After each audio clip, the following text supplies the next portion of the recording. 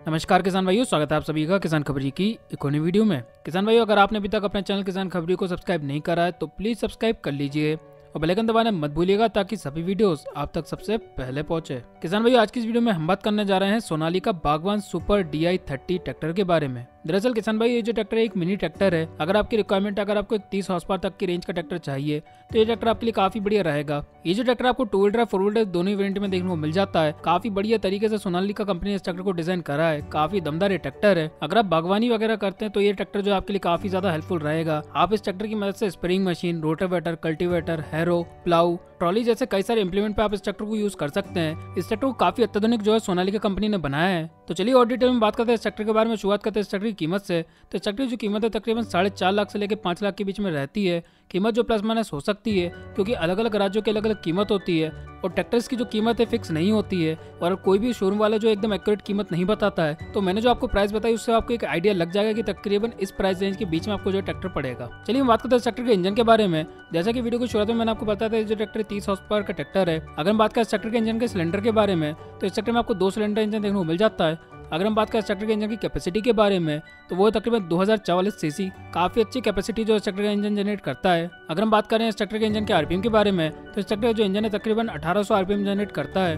काफ़ी अच्छा आरपीएम जो ट्रैक्टर का इंजन जनरेट करता है। चलिए बात करते हैं ट्रैक्टर के इंजन के एयर फ़िल्टर के बारे में तो इस ट्रैक्टर में आपको ड्राई टाइप वाला एयर फ़िल्टर देखने को मिल जाता है। अगर हम बात करें ट्रैक्टर के इंजन के कूलिंग सिस्टम के बारे में तो इस ट्रैक्टर में आपको वाटर कूल कूलिंग सिस्टम वाला इंजन देखने को मिल जाता है। चलिए हम बात करते हैं के ट्रांसमिशन के बारे में अगर हम बात करें सेक्टर के क्लच के टाइप के बारे में तो इस सेक्टर में आपको सिंगल क्लच देखने को मिल जाती है अगर हम बात करें सेक्टर के ट्रांसमिशन के टाइप के बारे में तो इस सेक्टर में आपको स्लाइडिंग मैच वाला ट्रांसमिशन देखने को मिल जाता है चलिए हम बात करते हैं सेक्टर के गेयर के बारे में तो इस सेक्टर में आपको आठ फॉरवर्ड गेयर देखने को मिल जाते हैं दो रिवर्स गेयर देखने को मिल जाते हैं काफ़ी अच्छे गेयर जो है सेक्टर में आपको देखने को मिल जाते हैं काफ़ी हैवी ड्यूटी गेयरबॉक्स जो है सेक्टर में दिया गया है चलिए हम बात करते हैं सेक्टर की स्पीड के बारे में अगर हम बात करें सेक्टर फॉरवर्ड गेयर की स्पीड के बारे में तो वो तकरीबन डेढ़ किलोमीटर प्रति घंटे की से लेकर तकरीबन बाईस किलोमीटर प्रति घंटे की से ट्रैक्टर भाग सकता है अगर हम बात करें ट्रैक्टर की रिवर्स स्पीड के बारे में तो वो तकरीबन दो किलोमीटर प्रति घंटे रफ्तार से लेकर तकरीबन नौ दशमलव दो किलोमीटर प्रति घंटे रफ्तार से ट्रैक्टर जो है भाग सकता है रिवर्स स्पीड में।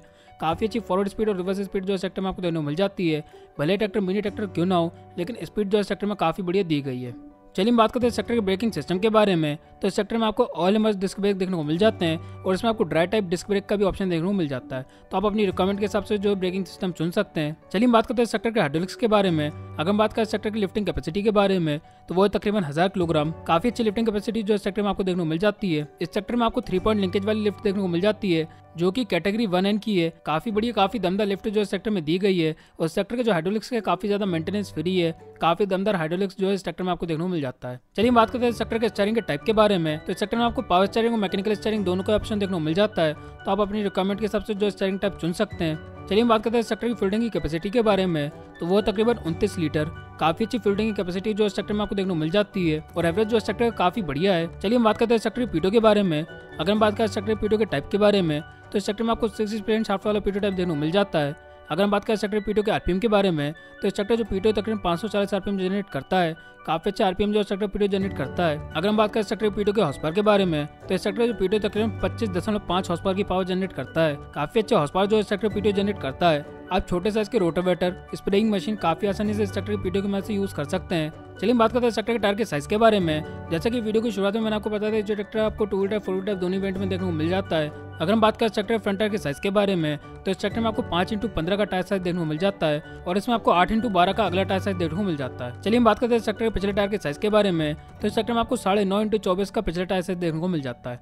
काफ़ी बढ़िया टायर साइज़ जो इस सेक्टर में दिया गया है। फ़िलहाल टायर साइज़ में इसमें आपको ज़्यादा कुछ खास ऑप्शन देखने को नहीं मिलता है। चलिए हम बात करते हैं सेक्टर के डायमेंशन वेट के बारे में, मैं सबसे पहले आपको टू व्हीलर वेरियंट के डायमेंशन वेट बता देता हूँ। अगर हम बात करें सेक्टर टोटल वज़न के बारे में तो वह तकरीबन तेरह किलोग्राम। अगर हम बात करें सेक्टर ओवरऑल चौड़ाई के बारे में तो वो तकरीबन एक हज़ार नब्बे एम एम व्हील बेस की अगर हम बात करें वो तकरीबन सोलह सौ साठ एम एम ग्राउंड क्लेंस की अगर हम बात करें वो तकरीबन तीन सौ दस एम एम चलिए हम बात करते हैं फोर व्हीलर ट्रैक्टर के डायमेंशन वेट के बारे में तो इस ट्रैक्टर जो टोटल वज़न है वो तकरीबन चौदह सौ साठ किलोग्राम। ओवरऑल चौड़ाई की अगर हम बात करें वो तकरीबन एक हज़ार दस एम एम व्हील बेस की अगर हम बात करें, वो तकरीबन 1660 एम एम ग्राउंड क्लियरेंस की अगर हम बात करें, वो तकरीबन दो सौ पैंतीस एम एम तो फ़िलहाल की सुनवाई हुई थी जानकारी सोनालिका के Baagban super D I thirty tractor के बारे में। अगर आप बागवानी वगैरह का काम करते हैं, अगर आपकी रिक्वायरमेंट अगर आपको एक मिनी ट्रैक्टर चाहिए तो ये ट्रैक्टर आपके लिए काफ़ी बढ़िया रहेगा। ये जो ट्रैक्टर है, तीस पर का काफ़ी दमदार ट्रैक्टर है। सोनाली सोनालिका कंपनी ने इस ट्रैक्टर को काफ़ी बढ़िया तरीके से डिज़ाइन करा है। काफ़ी अच्छी जो ट्रैक्टर परफॉर्मेंस देता है। और आप इस ट्रैक्टर की मदद से छोटे मोटे काम काफ़ी आसानी से कर सकते हैं। तो फ़िलहाल किसान भाई इतनी जानकारी Sonalika Baagban super D I thirty tractor के बारे में। उम्मीद करता हूँ जानकारी आपको पसंद आई होगी। अगर जानकारी आपको पसंद आई तो आप इस वीडियो को लाइक करना मत भूलिएगा। अगर आपने अभी तक अपने चैनल किसान खबरी को सब्सक्राइब नहीं करा है तो प्लीज़ सब्सक्राइब कर लीजिए बेल आइकन दबाना मत भूलिएगा। और फ़िलहाल किसान भाई, हमने बाकी तो मिनी ट्रैक्टर्स पर भी ऑलरेडी वीडियो बना रखे हैं तो आप अपने चैनल किसान खबरी पर जाकर देख सकते हैं। फ़िलहाल इस वीडियो में इतना ही, फिर मिलता है अगली वीडियो के साथ, तब तक के लिए नमस्कार।